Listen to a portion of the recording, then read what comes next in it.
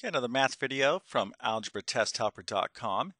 And what I want to focus on on uh, this video here is the difference of two squares.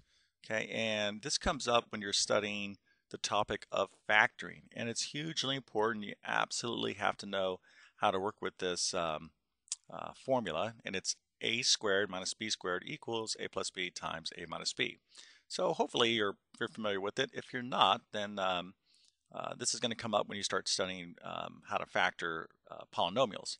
And if this is all new to you, I would suggest hopping over to our site, algebratesthelper.com, and um, start maybe looking at some of the more basic information. But if you're already familiar with the difference of two squares, what I'm going to do is just show you some uh, various examples on how to use it, okay, just to make sure that you know how to use it, because it's going to come up time and time again, time and time again in factoring. All right, so Let's go ahead and take a look at some real easy examples first. So what if I had x squared minus 16 and I wanted to factor that? Okay, so I just have to follow the pattern here. You can see the x is basically the a. Now here we have 16. We don't know what it is, right? It's, well, 16 squared. No, it's just 16. Well, it's no big deal. What we want to think of 16 as, of course, is the square of some number. So that's basically x squared minus 4 squared, right, which is the same thing as 16. So let's just go ahead and follow the pattern here. It's going to be a plus b, or these two values, the sum of those two values there. So this is going to be x plus 4 times x minus 4.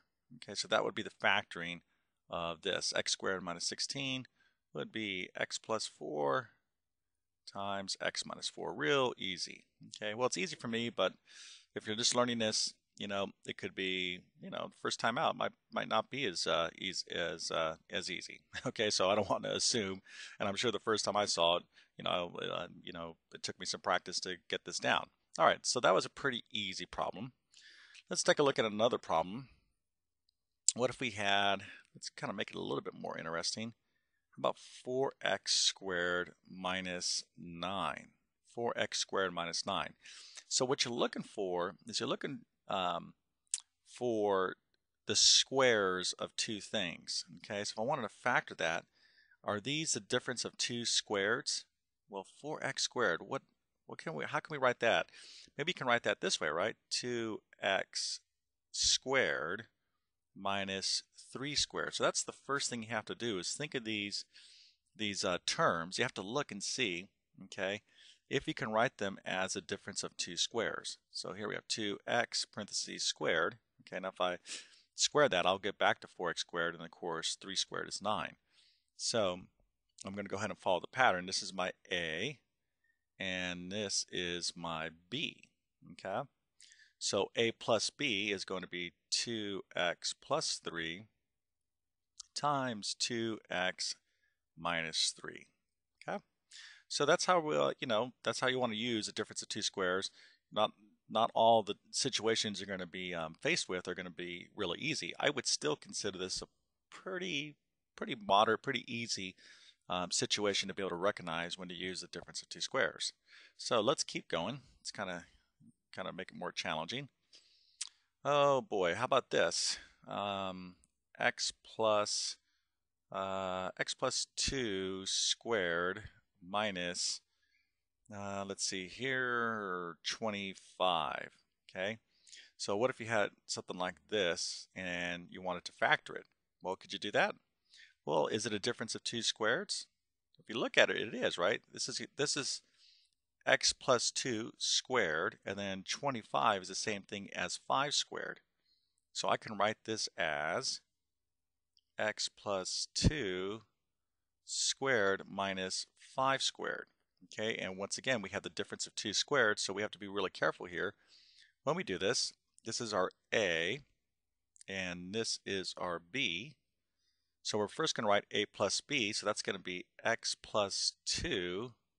I like to kind of use parentheses. x plus 2 plus 5, parentheses. Matter of fact, let's use brackets. Okay, remember these parentheses and brackets are just grouping symbols. Okay, so you can interchange them. So this is a plus b, and then a minus b would be x plus 2 minus 5. Okay, And this would all simplify down to x plus 2 plus 5 is x plus 7. Oops, x plus 7 times x plus 2 minus 5. That's going to be minus 3. So that'd be x minus 3. Okay. All right, so here's just a few examples to kind of uh, teach you how to use uh, the difference of two squares. Um, uh, you know, I can do you know endless examples, but hopefully, if you understand this, then I think you'll pretty much be able to um, get the idea uh, with additional problems. Remember, you want to look for the difference of two squares, and sometimes it's not going to be as obvious. You have to look for those patterns, but when you do, you can use this formula here. Really important stuff.